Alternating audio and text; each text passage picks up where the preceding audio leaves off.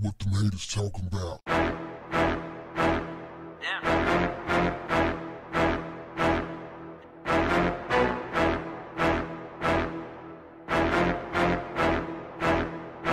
What's up, family? For some reason, Candace Owens, the coconut jigaboo, thought it was important that she let the world know that George Floyd was not only not an amazing person, but he was a criminal. According to Candace, George Floyd deserves no support because he had a criminal record. She cited a number of arrests and prison stints. And based on that, she said that she was not in support of George Floyd. Now, she also said that she doesn't support the officer. She started off, because this is how, oh, you got to pay attention to this family. This is how the, the jigaboos, the tap dancers, this is how they get down. They start with a truth or two, right? And then they go in on some straight up asinine BS. The reason they start with the truth or two, because see, that truth or two is one of those things that there's a general consensus of. And so it makes a lot of sense, and people say, oh, okay, smart, okay, that's, that makes sense. Okay, I agree, I agree. Every, it's like almost like universally people agree, right? And then that's when that's when they go in to start splitting. That's when they start throwing the black community under the bus after they get that part out of the way. What did she say? She said that the officer who uh, murdered George Floyd uh, deserved to be arrested. She said that it was an evil act. And then she said that there are no white people, this part is a lie, but you know, it's subjective for some of you who uh, hold out hope. She said that there are no white people in this country that believes that Officer Derek Chauvin is innocent, is a good person. They all believe he's the devil. Well, he at least did a devilish act. And we know that's a lie. But, you know, that's the setup. That's the setup. That is the setup. Yes, that was wrong what he did. He was wrong. Bad, bad, bad. Bad, bad, bad, Derek. Then she go in top heavy on criticizing whoever or whatever her black target is. In this case, George Floyd. She spent about one minute, one or two minute minutes denouncing the officers and setting it up. Well, actually, she didn't spend two minutes. She spent more like a few seconds denouncing the officer but the other part of it was setting it up, you know, making it pretty. And then she went top heavy on the criticism. This is what they all do. Follow Charles Barkley. Watch me. Follow Charles Barkley. Follow the Jason Whitlock, even though he's been fired from Fox, he'll probably return somewhere else uh, under some rock. He'll crawl from under. Uh, the Stephen A's, the, all of these people, these black people who they use to chime in on black issues to serve as a representative for the black community. Watch them. It is a common theme. It's like they all read from the same book, from the same playbook. So she spent like the next 17 minutes or so just going in on George Floyd like he's nothing, like he was a criminal and he pulled guns on people. He did drugs on and on and on. He's not a martyr. He's not a martyr. He's not an amazing person like she is an amazing person. I mean, this chick is despicable. I can't wait I can't wait till she get that moment. Because it's coming. You know, it always comes for all of them. That's the thing about it. The the sellout, the the jigaboo, the tap dance, and the sambo lifestyle, you know, it's good for those who have no moral compass, no integrity. So it pays well, but there's no retirement plan. The retirement plan sucks because after white supremacy gets through using them, it always kicks them to the curb. White supremacy always discards its tools. So at some point, she's going to be done just like Stacey Dash and Omarosa. And where do they go? Run their ass right to the black community. And what do many of you do? Accept their clown asses. That's what y'all do. I don't understand it. Like, I don't want to talk to them. I wouldn't invite them to any panel discussions. I wouldn't invite them to any summits. I don't want to hear what they have to say. You may as well be listening to a white supremacist. And it ain't got nothing to do with having independent thoughts and all of this stuff. These people are moles. They're plants. They are there to cause disruption and division between black folks who are on the move, who are progressive. They're there to run interference.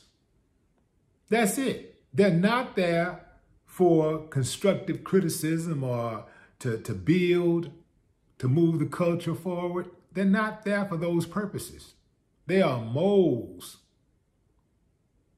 This woman, just a few years ago, when she was in, I believe, college, her and her family sued for racial discrimination, sued the school because she was being harassed by some of her schoolmates, her white schoolmates. Uh, shortly after that, she had a website, a progressive website that was struggling. The conservatives, they saw that she had some talent in voicing her opinion. And, you know, she was a liberal. She was voice, voicing liberal opinions. They saw that. They recognized that she had a talent for that and they recruited her. The moment they recruited her, racism just disappeared. She stopped talking about how certain things are racist and we're living in a society of double standards and this, all of that disappeared. From that point on, she was like, yeah, it's bad. See, that's what that's, that's one of the things they do. They say, yeah, it's bad, and we know it's bad. But what about when we do this? And what about that? and you still have an opportunity just like everybody else. And that's the thing that those racists want to hear.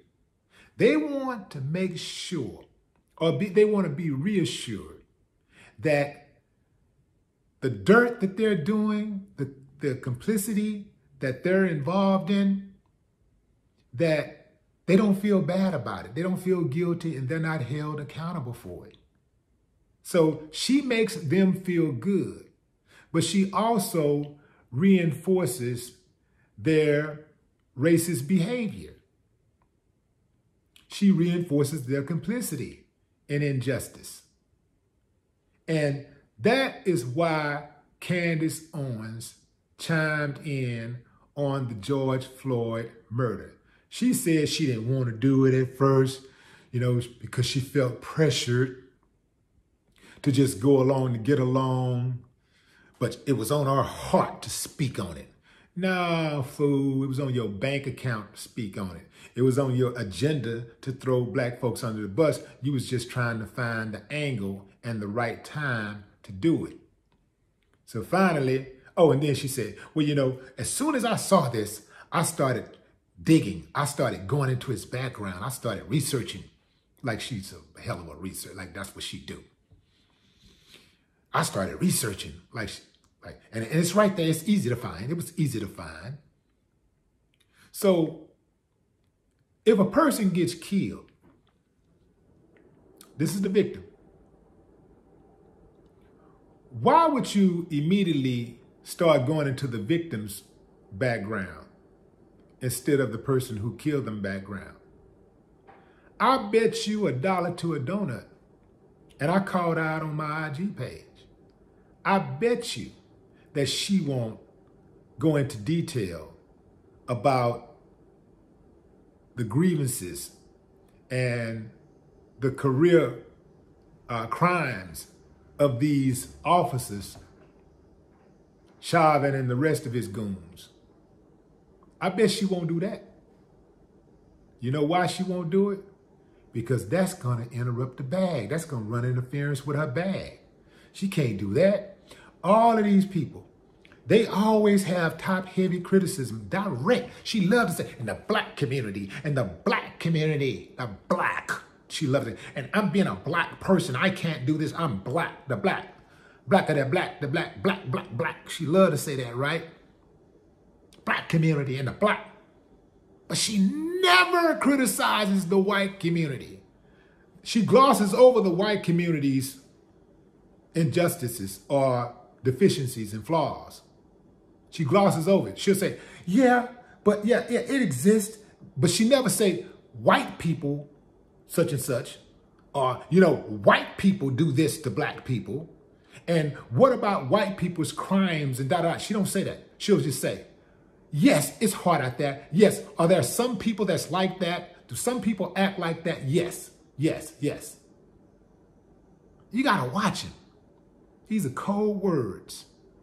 And you can watch, you can watch and listen, and you can tell what they're all about. I checked out the first time I heard her talking. I knew she was in pursuit of the bag. And I did my research. And I found out, oh, okay, so she did. She does understand that racism is alive and well in America. It's just that since she got the bag, she can't talk about it. She can't speak on it since she got the bag. Oh, that's what it is. See, I figured it out easy. It's like very, very easy. So, Candace Owens, I would say that she should be ashamed of herself for speaking on George Floyd like that because his past crimes, whatever he did in the past, had nothing to do with him being murdered. That's why it's not even important to bring it up. We're talking about injustice. We're talking about a person who was murdered. And if you look in anybody's background, especially a person who's over 30, you are going to find some discrepancies in morality. I don't care who it is, including you, Candace Owens, the mammy mutt. That is going to be discrepancies. Nobody's perfect. So maybe your imperfect toleration is one mistake. Maybe somebody else's is two. Maybe somebody else's is three. Maybe somebody else believes you get to make as many mistakes in life as you do. And the goal is to constantly at least try to improve yourself. People who have drug problems often go to jail many, many, many times. They often have many experiences with law enforcement. It is a tough monkey to shake. And it's one of those things that affects all of us, all of our lives. All of us have family members who are addicted to drugs. Think about the one that you have, the closest one. You think it's cool for them to be murdered because they had drugs in their system? Come on, fam. I was going to say that she should be ashamed of herself. But she have no shame. Anytime you sell out your own people, you're useless. Candace Owens. your mama should be embarrassed and your daddy should have pulled out. No more talk. What, what them haters talking about?